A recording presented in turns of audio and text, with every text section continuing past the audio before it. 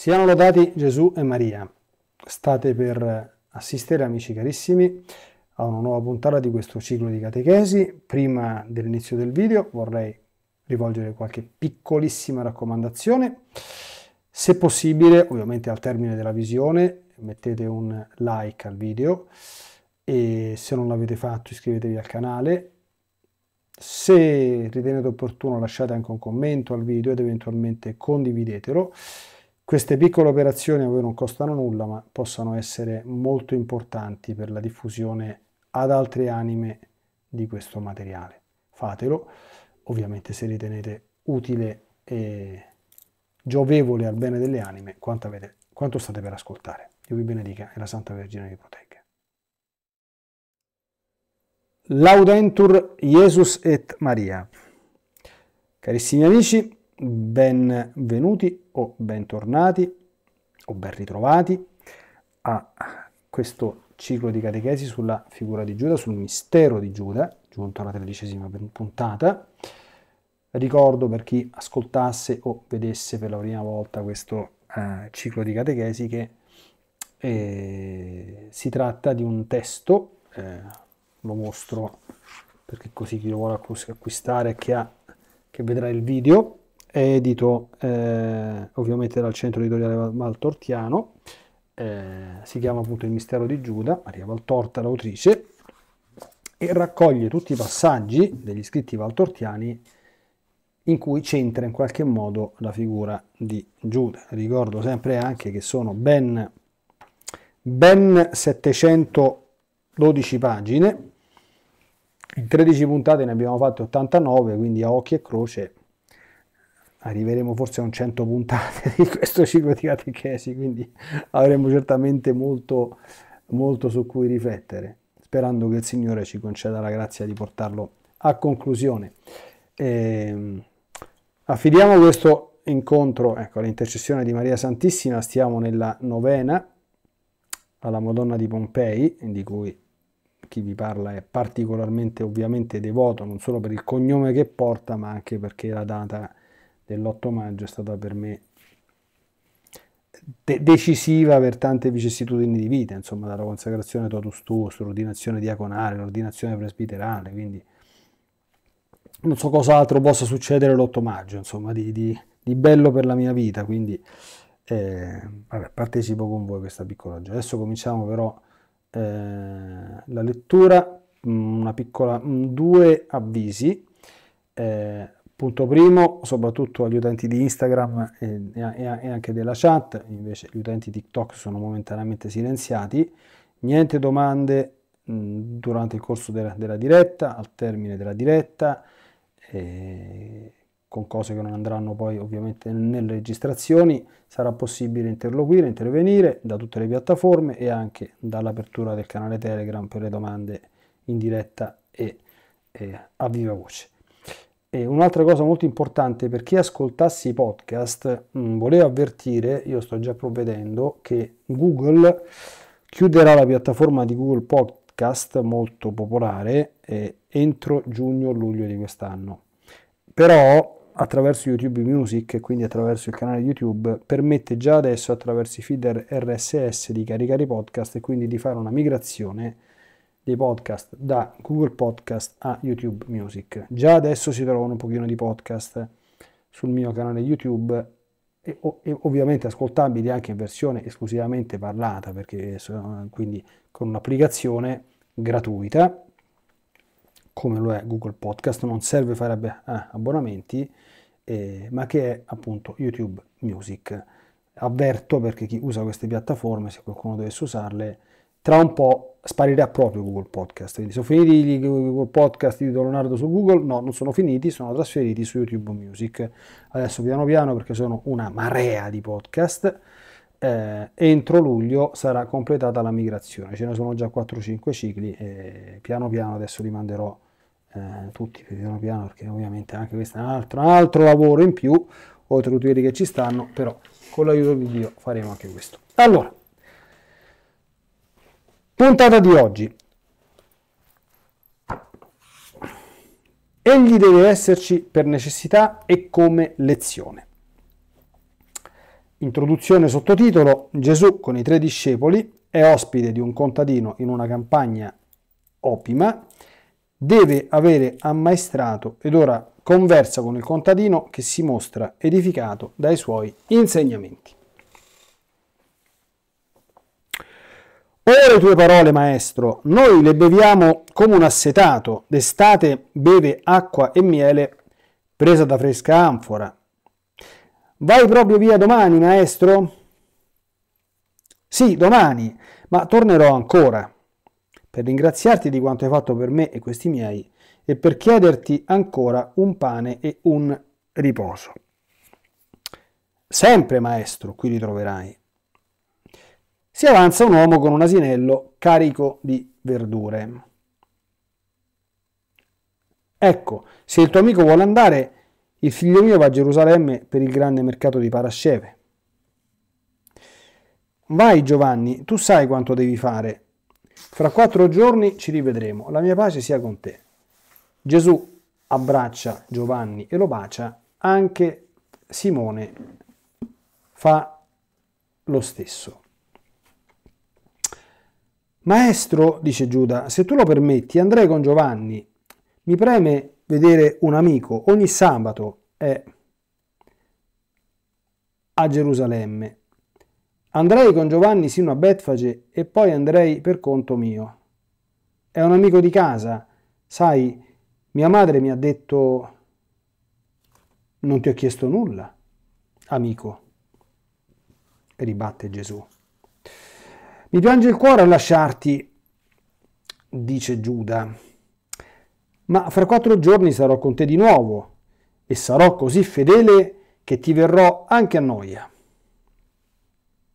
Vai pure, all'alba che sorgerà fra quattro giorni, siate alla porta dei pesci.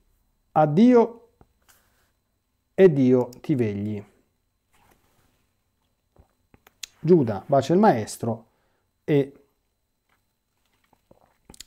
se ne va vicino al ciuchino che trotterella per la via polverosa. La sera scende sulla campagna che si fa silenziosa. Simone osserva il lavoro degli ortolani che irrigano i loro solchi. Gesù è rimasto al suo posto per qualche tempo. Poi si alza, gira dietro la casa, si dilunga per il frutteto, si isola, va sino ad un folto in cui melograni poderosi sono intersecati a bassi cespugli, che direi di uva spina, ma non so di preciso, perché sono spogli di frutti e poco conosco la foglia di questa pianta. Gesù si nasconde là dietro, si inginocchia, prega e poi si curva col, suo, col volto contro il suolo sull'erba e piange.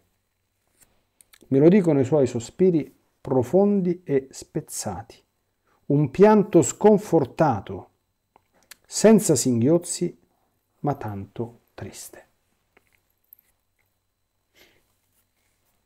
Passa del tempo così. La luce è ormai crepuscolare, ma non è ancora così buio da non poter vedere. E nella poca luce ecco spuntare da sopra un cespuglio la faccia brutta e onesta di Simone. Simone lo Zelote, eh, anche perché era stato lebroso, Maria Valtorta dice era veramente un uomo, un santuomo saggio, onesto, è uno eh, dei pochi, che, di quelli che durante la passione di Gesù, questo non c'è nei Vangeli, ma c'è nell'opera di, di Maria Valtorta, fa, diciamo, eh, insieme a San Giovanni, un po' meno di San Giovanni, ma la meno peggio figura tra le altre cose. Però dice che era proprio brutto, eh, proprio esteticamente era proprio eh, rovinato proprio da un punto di vista estetico. Guarda, cerca di distinguere la forma rannicchiata del maestro, tutto coperto dal manto blu scuro che lo annulla quasi nelle ombre del suolo. Solo a spiccola testa bionda e le mani congiunte a preghiera che sporgono al di sopra del capo al quale i polsi fanno da appoggio. Simone guarda con i suoi occhi piuttosto bovini, capisce che Gesù è triste per i sospiri che trae e la sua bocca, dalle labbra tumide e persino violacee, si apre. Maestro, chiama. Gesù alza il volto. Tu piangi, maestro. Perché? Mi permetti di venire? Il viso di Simone è tutto stupito e accorato. È un brutto uomo, decisamente. Qui ricara la voce. Alle fattezze non belle, al colorito olivastro scuro, si unisce il ricamo bluastro e incavato delle cicatrici lasciate dal suo male. Ma ha uno sguardo così buono che la bruttezza scompare. Vieni, Simone, amico, dice Gesù. Gesù si è seduto sull'erba, Simone gli siede vicino. Perché sei triste, maestro mio? Io non sono Giovanni e non saprò darti tutto quanto ti dà lui, ma è in me il desiderio di darti ogni conforto. E ho solo un dolore, quello di essere incapace di farlo. Dimmi, ti ho forse spiaciuto in questi ultimi giorni al punto che il dovere stare con me ti accascia? No, amico buono, non mi hai mai spiaciuto dal momento che ti ho visto e credo che non mi sarai mai cagione di pianto. E allora, maestro, non sono degno delle tue confidenze, ma per l'età quasi ti potrei essere padre. E tu sai che sete di figlio ho sempre avuto. Lascia che io ti accarezzi come fossi un figlio e che ti faccia in quest'ora di pena da padre e da madre. È di tua madre che tu hai bisogno per dimenticare tante cose. Oh sì, risponde Gesù, è di mia madre. Ebbene, in attesa di poterti consolare in lei, lascia al tuo servo la gioia di consolarti. Tu piangi, maestro, perché ci fu chi ti spiacque. Da più giorni il tuo viso è come sole offuscato da nubi. Io ti osservo. La tua bontà cela la tua ferita. Perché noi non si odi colui che ti ferisce, ma questa ferita duole e ti dà nausea. Ma dimmi, mio Signore, perché non allontani la sorgente della pena? Risposta. Perché è inutile umanamente e sarebbe anticarità.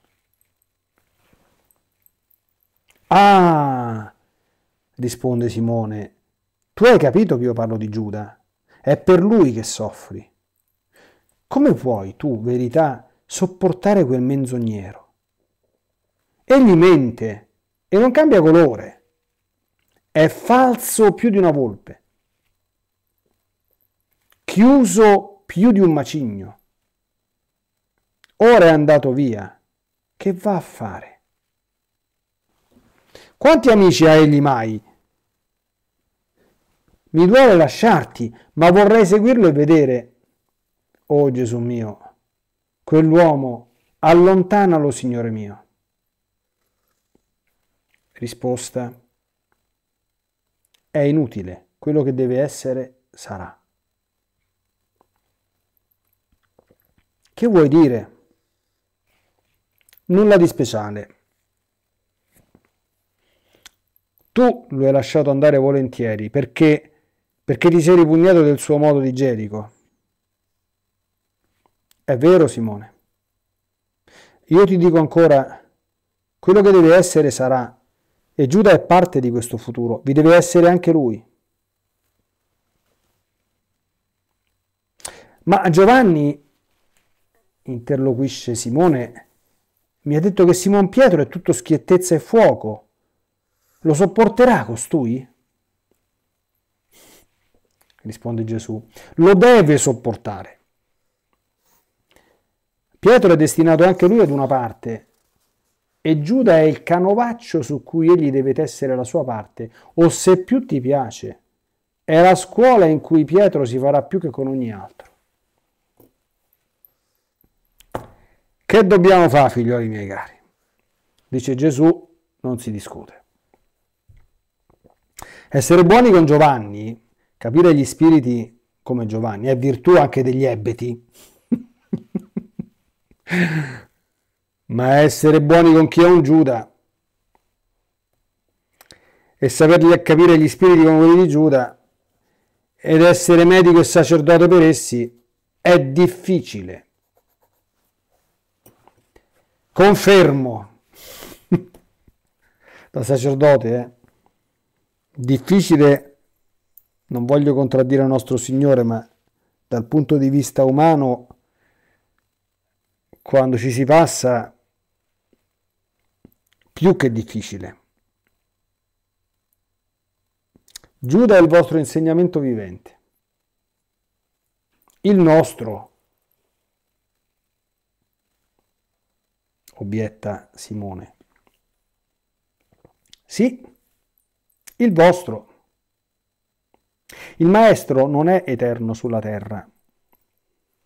Se ne andrà dopo aver mangiato il più duro pane e bevuto il più aspro vino.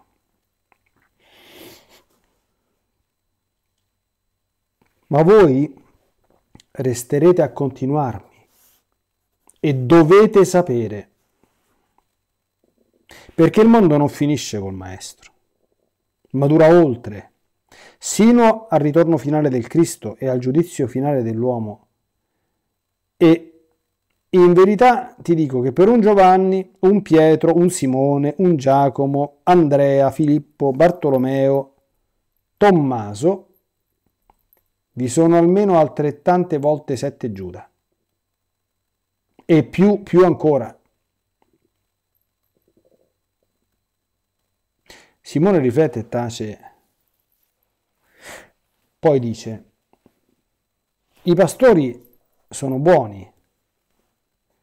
I pastori, qui si parla dei pastori, quelli che erano ancora superstiti, di quelli che avevano fatto la visita a Gesù bambino a Betlemme, sono questi i pastori dell'opera di Maria Valtorta. Eh? Giuda li sprezza, ma io li amo. Gesù risponde, io li amo e lodo. Sono anime semplici, come piacciono a te, dice Simone. Giuda è vissuto in città, cerca di scusare Gesù. Sua unica scusa, risponde Simone. Ma tanti lo sono vissuti in città, eppure quando verrai dal mio amico? Allude a Lazzaro di Betania. Simone era un grande amico di Lazzaro. E attenzione qui, come è l'amico, tale sarà il cuore dell'amico, perché chi sono i due eh, uomini di fiducia scelti da Gesù in occasione della passione, Simone lo Zelota e Lazzaro, incaricati di, di andare a ripescare gli apostoli, di riunirli, di andare a, a raccattare i pezzi sparsi in giro, secondo l'opera di Maria Valtorta. Domani Simone, e ben volentieri perché siamo io e te soli, penso sia un uomo colto ed esperto come te. Vedete che qui si capisce che Gesù ancora non aveva umanamente conosciuto Lazzaro, che ha avuto la grande sorte, certo che beato lui, eh, qui intorno alle storie, di essere, di essere il miglior amico di, di essere l'amico di Gesù. Lazzaro non era apostolo, non era discepolo in senso stretto, certamente lo era in senso non, non, era tra i 72, eh, tra l'altro un, un outsider, no? quindi un, cioè Lazzaro non è che era ricco sfondato, ma proprio di più è, cioè, l'altro giorno leggevo nella catechesi di Maria di Magdala, come dire, il pranzo che avevano fatto la, la, la, la mm, i cinque giorni prima che Gesù andasse a, fare la, a, a patire la passione, quando Maria di Magdala ha spaccato il vasetto di, di alabastro, cioè le descrizioni meticolose di Maria Valtorta, i vassoi d'argento, le, cioè le stoviglie, i marmi per terra, quindi, cioè, però era, era, il miglior amico di, di, di, Gesù, uno dei pochi per cui eh, la stragrande abbondanza di beni e anche una certa influenza sociale, perché era amico anche stimato e ritenuto dai romani, che significava insomma tanta roba a quei tempi, non aveva minimamente intaccato la sua bontà, la sua umiltà, la, la bellezza della persona che era. Cosa rarissima. E infatti Gesù dice che è difficile per un ricco entrare nel regno dei cieli. Non impossibile, quindi, ma è una cosa molto rara. Vabbè. Penso sia un uomo colto ed esperto come te. Simone risponde, è, è, è molto sofferente nel corpo e più nel cuore. Maestro, ti vorrei pregare di una cosa. Se non ti parla delle sue tristezze, tu non interrogarlo sulla sua casa. Non lo farò. Io sono per chi soffre, oh, ma non forzo le confidenze. Mo adesso parliamo di tutto. Eh? Il pianto ha il suo pudore. Ed io non l'ho rispettato. Eh, qui interloquisce Simone pensando di aver mancato nei confronti di Gesù. Ma mi hai fatto tanta pena. Ma tu sei mio amico e già avevi dato un nome al mio dolore. Io per il tuo amico sono il rabbi sconosciuto. Quando mi conoscerà, allora andiamo. La notte è venuta, non facciamo attendere gli ospiti che stanchi sono. Domani all'alba andremo a Betania. Io faccio uno stop e mi attappo gli occhi perché c'è una conclusione dove c'è il commento di Gesù. Io non lo leggo e non lo voglio leggere perché prima mi avventuro io, nonostante ci sia un tanto autorevole commento, a far notare, a far rilevare qualcosa. Allora, sicuramente alcune frasi eh, emblematiche, è inutile umanamente sarebbe carità, è inutile quello che deve essere sarà, lo spiegherà anche bene Gesù. Attenzione a non intendere però queste cose, lo dico subito, in maniera distorta o peggio ancora fatalistiche. Chiariamo subito una cosa. Il destino, secondo l'accezione comunica di, di, di questo termine, cioè una sorte predefinita e ineluttabile, cioè non esiste nella visione cristiana delle cose. Perché tutto dipende sempre dalla nostra libera volontà. È ovvio che qui Gesù parla eh, in quanto Dio, quindi era una domanda che mi hanno fatto anche, anche in diretta in questi giorni durante la fine di qualche diretta. Il fatto che Dio conosca e conosca in maniera infallibile il futuro, e quindi cioè, io mi sono sempre chiesto, eh, è stato difficile per il verbo fatto carne, presumo, eh, continuare ad operare insomma anche da uomo, sapendo che tanto era tutto inutile. Però, come ho spiegato durante la risposta a questa domanda, il fatto è che Dio ci tratta come se non lo sapesse il futuro. Facevo un esempio, cioè noi dobbiamo essere consapevoli del fatto che senza la grazia di Dio non possiamo fare nulla. Però se uno ci pensa troppo a questa cosa, corre il pericolo di cadere nell'eresia del quietismo, cioè siccome senza la grazia di Dio non posso fare nulla, io mi siedo e aspetto che arriva la manna dal cielo o che arriva la grazia o che Dio faccia le cose al posto mio. Quindi questa verità che deve essere tenuta, se uno la intendesse in questo modo diventerebbe dannosa e controproducente. Per questo Sant'Ignazio diceva, fai come se tutto dipendesse da te, sapendo che niente dipende da te. Dio con noi, eh, come dire, applica questo principio in questo modo, cioè lui conosce il futuro, già sa chi sarà dannato, però agisce come se non lo sapesse. Perché? Perché siccome noi siamo realmente liberi, lui deve praticamente fare attenzione, diciamo così, curare due cose. Primo, che la persona stessa al termine della sua vita, quando si troverà davanti a Dio nel giudizio particolare, possa vedere non che Dio sapeva la brutta fine che ha fatto, ma tutti gli aiuti che Dio gli ha dato per impedire che facesse quella brutta fine. Perché chi si danna, si danna solo per colpa propria e non è che si danna per colpa propria perché lo dice Don Leonardo o perché lo dice Dio di autorità, è colpa tua. No, no, il dannato lo vedrà che è colpa sua e lo vedrà in maniera tale che ciò costituirà motivo di rimorso per tutta l'eternità. Prima cosa. Seconda cosa, questo Gesù lo spiega più avanti nell'opera di Maria Valtorta, eh? perché guardate che Dio agisce sempre da Dio.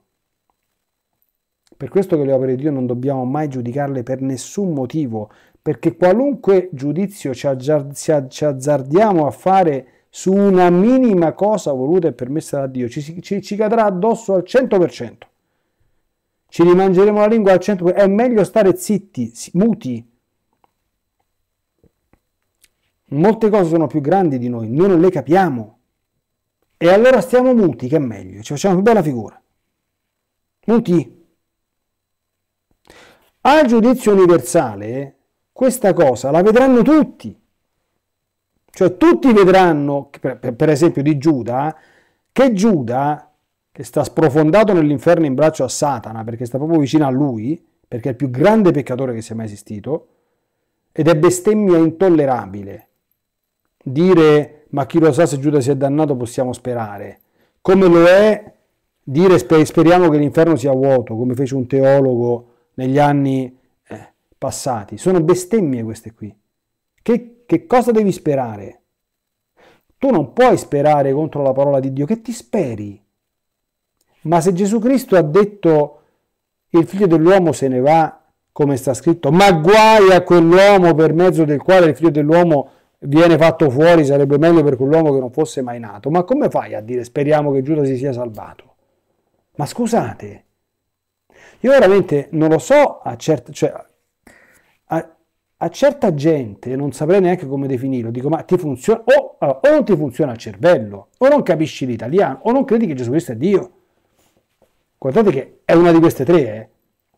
perché se non, se, non, se non, ti funziona il cervello, vabbè.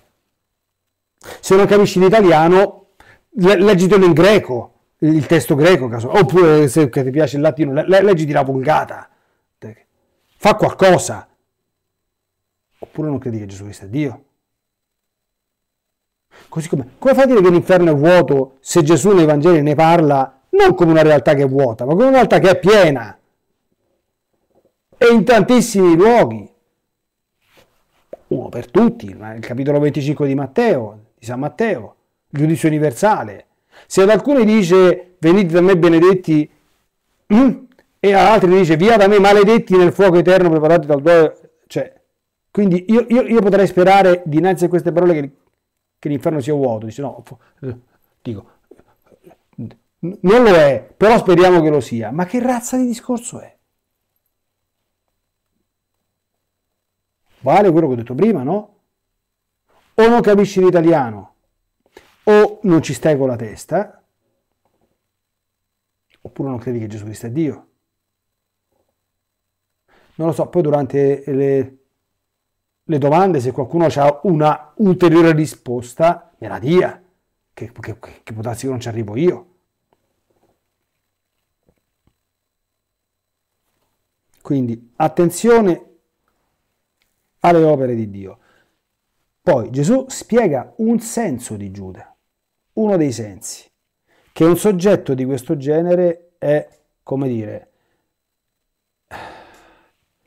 il banco di formazione perché guardate che lo, lo vedremo, eh, delle volte questo soggetto era proprio insopportabile. Io non lo so come non gli hanno menato, perché proprio te le tirava fuori con le, con, con, con le pinze. E Pietro, che non lo poteva sopportare, ci sono delle scenette, lo vedremo più avanti, che accumulava un tale grado di nervosismo, di rabbia, per non spaccargli la faccia, prendeva, si, si, prendeva delle mazze per strada e cominciava a, a, a, a dare mazzate agli, agli steli di erba per sfogare. E una volta, me lo ricordo, ma tanto sicuramente lo incontreremo in quest'opera, Gesù gli disse grazie Pietro, se ne è accorto che stava scoppiando e anziché spaccare la faccia a Giuda o rispondergli male, ha preso sto bastone e ha cominciato a, a menabotte a, a, quelle, a quelle povere erbe del prato a destra manca. Quindi tutto ha un senso nell'ordine del cosmo, ma noi purtroppo dobbiamo semplicemente ogni tanto ricordarci che siamo dei poveri esseri umani e non possiamo competere con la sapienza dell'Altissimo. Fa anche impressione vedere in questo brano Gesù che piange. Su che cosa piangerà? Azzardo, perché a volte viene da piangere un po' pure a me. Sul mistero della volontà umana. Quando si indurisce, quando si impazzisce, in maniera colpevole ovviamente, quando sproloquia, quando sragiona e quando si manifesta come inconvertibile, come nel caso di Giuda.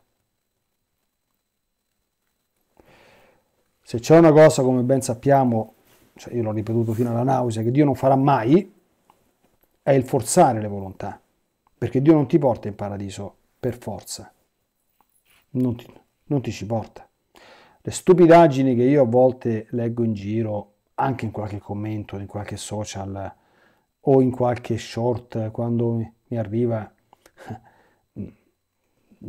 se, se, se, per carità, senza nessuna offesa personale per me, perché a me si possono, me possono dire un sacco una sporta. Mi raccomando di fare attenzione non tanto per la mia umile persona che si merita qualunque cosa, ma essendo io un sacerdote, il nostro Signore non è molto contento quando si bistratta un sacerdote per il fatto che è sacerdote, punto, a prescindere dalle altre cose. Quindi io raccomanderei, come dire, moderazione e prudenza per questo motivo. Però si dice, se, leggo a volte, quando mi arriva qualche cosa, perché grazie a Dio c'è qualcuno che mi aiuta nella moderazione di queste cose, cioè delle cose che sono veramente inqualificabili cioè di gente che è completamente proprio che sragiona e che ha perso completamente il senno. Sempre i soliti mantra. Eh Dio la, la misericordia, Dio qua, Dio là. Uh, che ha detto sto prete. Ah, se le cose stanno... Eh, questo è, è il terrorista, è l'immagine di Dio. Ah, con questa immagine di Dio che tu proponi, la gente finisce ad andarsene da, da, da, da dalla, dalla Chiesa. Dico, io non propongo proprio niente, io. Io non propongo proprio... Io non, io non ho niente da proporre io non ho nulla da dire a nessuno. Questo sia ben chiaro. Zero.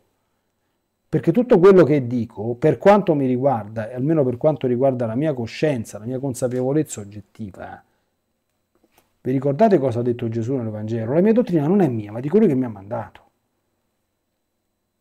Per carità, io non sono a livello del, del, del maestro, potrei tranquillamente sbagliarmi, potrei prendere lucciole per lanterne, ma se, se io dovessi in coscienza dire che qualche volta me ne sono uscito con idee mie, almeno in maniera consapevole e volontarie, io direi mi sembra di no, o quantomeno non è mai stata mia intenzione farlo. Perché non te la prendere con me. La, io, io, io, sono un ministro, che sapete significa ministro, un, servo, un, un, un sacerdote non esiste, come San Giovanni Battista, lui deve crescere, io devo diminuire.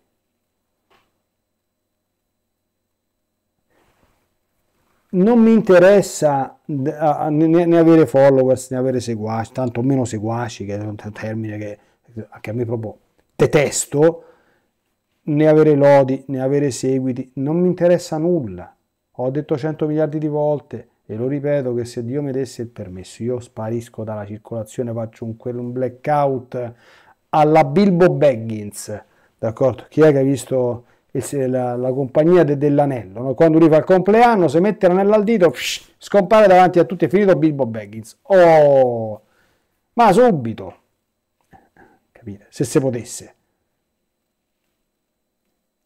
Quindi, se qualcuno se la prende con me, prendetela pure con me, ma non credo che cioè, tu pensi che sono io l'oggetto, ma se te la prendi con me per quello che hai sentito, io farei un pochino di attenzione. Perché, ripeto, io cerco di essere fedele a quello che ho imparato e udito dalla Sacra Scrittura, dal Santo Magistero vero e autentico della Santa Chiesa e dalla dottrina e dall'insegnamento di santi e dottori. Questo è quello che cerco di fare, che ho sempre cercato di fare. Non è detto che ci riesca, per carità, questo aspetta a Dio il giudizio, o se uno preferisce, dato che ieri era il 5 maggio, ricordate la poesia di, di, di Manzoni, no? quella su Napoleone, sulla morte di Napoleone, che a un certo punto li contiene la famosa sentenza ai posteri, l'ardo sentenza, no? è riferito a Napoleone, se questo era un flagello oppure un grande uomo della storia. Ecco, quindi un'altra cosa molto importante, quindi Gesù piange. Gesù piange. Non è un pianto come quello umano, ma è veramente... Lui è stato veramente uomo.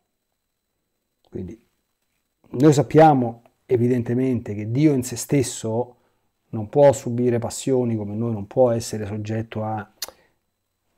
E però in Cristo Dio, nella seconda persona della Santissima Trinità, ha conosciuto dal di dentro com'è la vita umana. Io sinceramente vedendo tante cose, io soffro. Tanto. ok? non è mio potere molte cose cambiarle, ma uno ci resta proprio male. Dispiacciono e non è solo il dispiacere, ripeto, per tante cose che uno vede farsi contro, che vabbè. Le cose che danno più dolore a vedere come stanno messe certe persone e da sacerdote dico, e io che gli faccio? Che gli posso fare? dopo uno si sente pure in colpa perché noi siamo sempre limitati, diciamo, ma forse non, forse non sono un buon prete, forse non sono un buon parroco, forse non sono un buon pastore, non ho fatto abbastanza, perché ti dispiace vedere certe scene, certe scene, vedere certe cose, vedere certi atteggiamenti brutti. Io per esempio a un certo punto Simone dice di Giuda una cosa che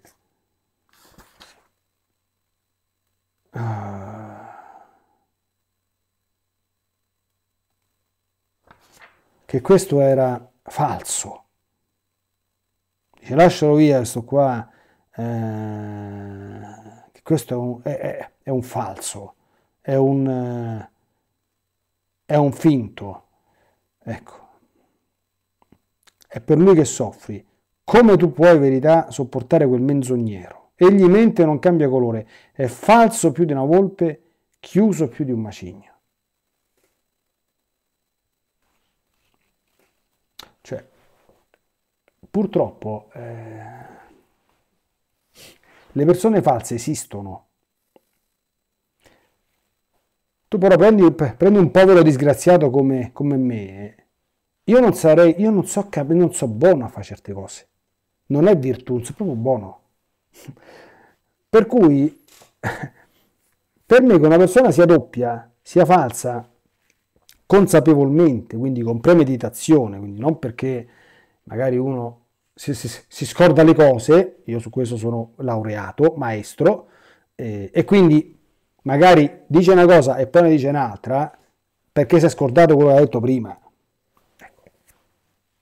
Quindi questo io sono, eh, ho il master, eh, quindi il, il, il master, ma che una persona con premeditazione reciti, cioè sia falsa, per me è inammissibile. Lo capisco che, non c'è, che, che, che è un limite. Giuda era.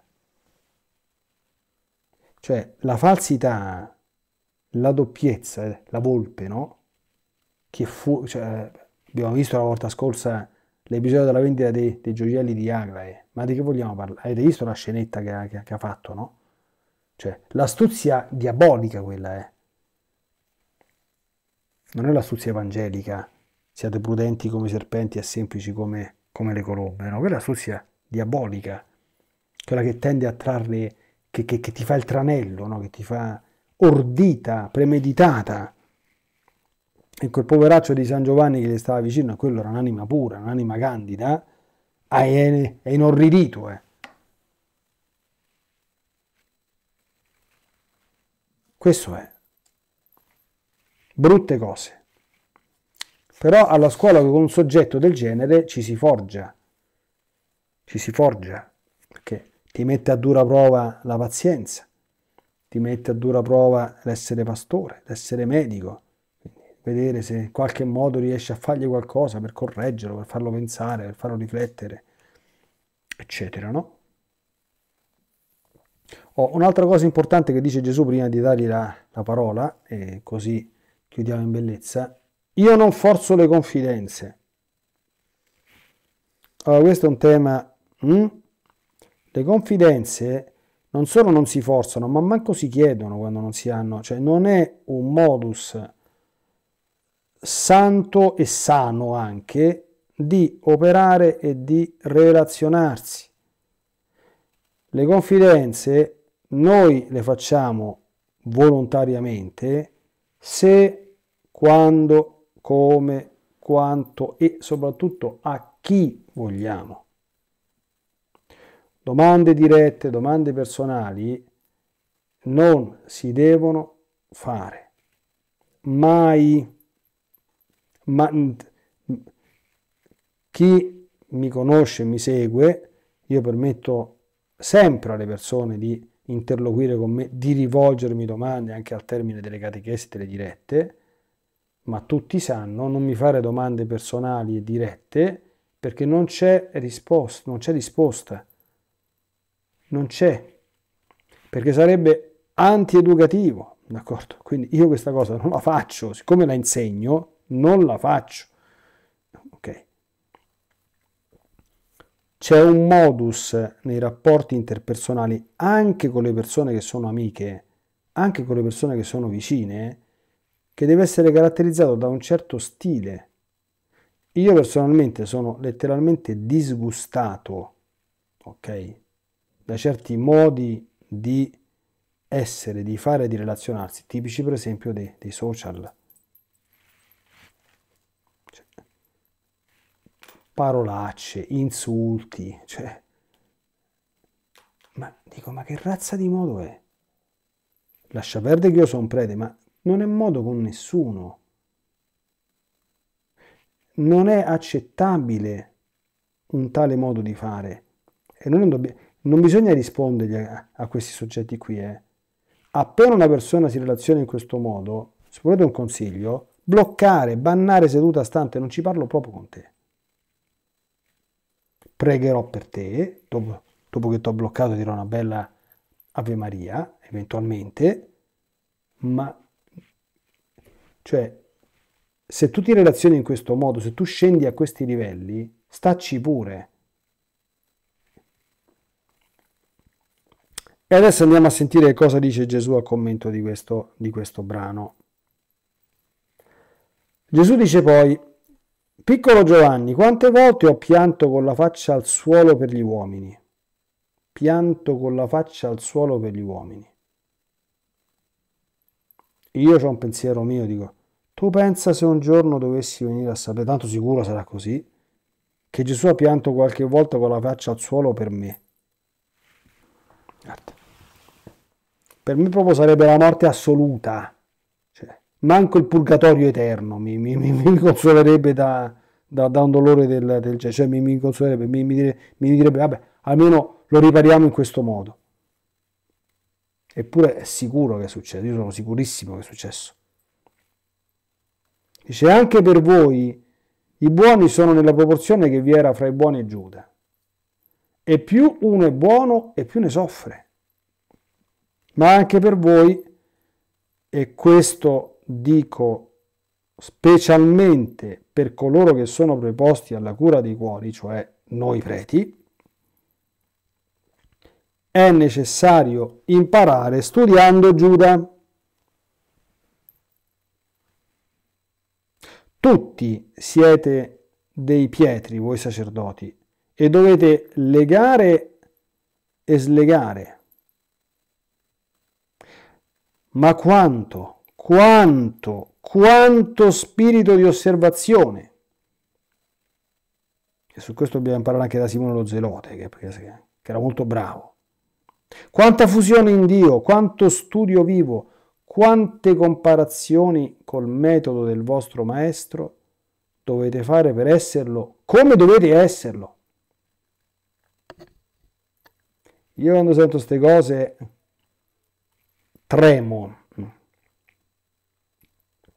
A qualcuno sembrerà inutile, umano, impossibile quanto illustro. Sono i soliti che negano le fasi umane della vita di Gesù e di me fanno una cosa tanto fuori dalla vita umana da essere solo cosa divina. Ci sono, c'erano, adesso ci sono più, eh? adesso tutti quanti eretici dall'altra parte, ma i novelli monofisiti, l'eresia di Eutiche condannata dalla Chiesa, dal Concilio di Calcedonia in particolare, cioè diceva, ma siccome questo è Dio, ma la natura umana è talmente più grande di quella, la, la, scusate, la natura divina è talmente più grande di, que, di quella umana che la assorbe. Ma che ti assorbe? Dove va allora la Santissima Umanità, prosegue Gesù, dove il sacrificio della seconda persona a vestire una carne? Oh, che in vero ero uomo fra gli uomini e perciò soffrivo di vedere il traditore e gli ingrati. Chi è stato tradito lo sa bene che cosa significa. Tradito, tradito in senso stretto. Sa bene cosa significa questa cosa qui. È una cosa orribile. Io penso che sia una delle esperienze più brutte che possa capitare durante un'esistenza e non parlo soltanto del tradimento, che è una cosa orribile, anche per esempio all'interno di un matrimonio. Per questo che l'adulterio un tempo era un peccato gravissimo e vai vai, fai adulterio e poi prepara da fare penitenza per tutta la vita. Una volta così funzionava. Perché è una cosa orribile, il tradimento è proprio una cosa... Io non... cioè, veramente... Eh, tre cose, eh, proprio non sopporto non sopporto, non sopporto, non sopporto. La, la maleducazione, la, la, la cafonaggine, la viltà, la vigliaccheria e i Giuda. Proprio veramente Gesù dice facciamo il banco di prova, proprio per me c'è proprio uno sforzo eroico proprio. Eh. Odiare nessuno, volere del male a nessuno, ma proprio ciò che rappresentano queste, queste, queste, queste cose per me è proprio veramente una fatica fuori del comune. E quindi anche Giuda soffriva di vedere il traditore, anche Gesù soffriva di vedere il traditore gli ingrati. E perciò gioivo di chi mi amava a me si convertiva. Gesù era contento se qualcuno gli voleva bene o se qualcuno si convertiva e perciò fremevo e piangevo davanti al cadavere spirituale di Giuda. Vedete? C'ho un po' corto, eh? Cadavere spirituale perché? Perché una volontà completamente distorta, completamente fuori, completamente refrattaria Quando è che ha pianto anche Gesù? Ce lo dice adesso. Ho fremuto e pianto davanti al morto amico Lazzaro, ma sapevo che l'avrei chiamato alla vita e gioivo di vederlo già con lo spirito del limbo. Qui, qui avevo di fronte il demonio. E più non dico. Purtroppo, figlioli miei cari, questa è veramente una cosa inquietante, brutta, ci sono degli esseri umani che possono definirsi, qui Gesù non parla mai a Vanvera, eh, demoni incarnati. Purtroppo. Purtroppo. Ed è possibile, attenzione però, un demone incarnato non è che il demone decide di incarnarsi dove, dove vuole, ma che non esiste. Quando è che uno diventa, ci si diventa demoni incarnati. Quando? Eh. Quando si accumulano peccati su peccati, peccati su peccati, durezze su durezze, indurimenti su indurimenti, quando si sputa sopra grazie su grazie, grazie su grazie, grazie su grazie, e si arriva a un punto, i maestri spiriti l'hanno sempre detto, quasi di saturazione. Per cui è sempre possibile anche per Giuda era possibile convertirsi, pentirsi e tornare indietro, ma quando la presa del nemico diventa così forte, rimane possibile, ma è concretamente non difficile, non difficilissimo, di più. Però si è arrivati a quel punto di saturazione per colpa propria. E non bisogna arrivarci a quei punti di, di saturazione, non bisogna mai essere così stupidi da aggiungere peccato a peccato fino a raggiungere il punto, come dire, il punto limite dell'indurimento del cuore, come si chiama tecnicamente, perché lì dopo diventa molto pericoloso. Tu seguimi Giovanni, diamo agli uomini anche questo dono e poi Beati quelli che ascoltano la parola di Dio e si sforzano di fare ciò che essa dice.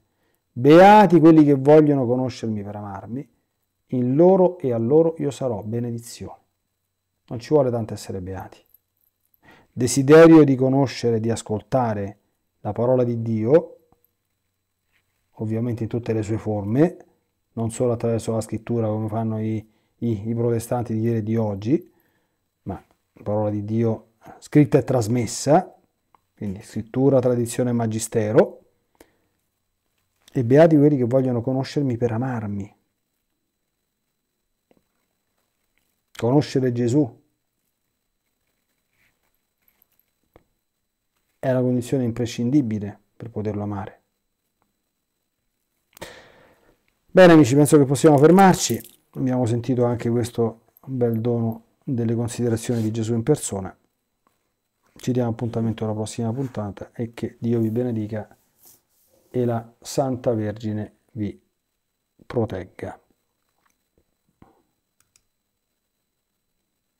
Mi permetto di ricordare agli utenti YouTube, ecco che al termine della registrazione del video e come vedranno nel video introduttorio, al termine se ritengono opportuno, se questa catechesi gli è sembrata utile, un like magari un commento se non sono iscritti l'iscrizione al canale e la condivisione che possono essere di enorme giovamento alla, a che la, questa catechesi raggiunga un, un, eh, un numero maggiore di anime.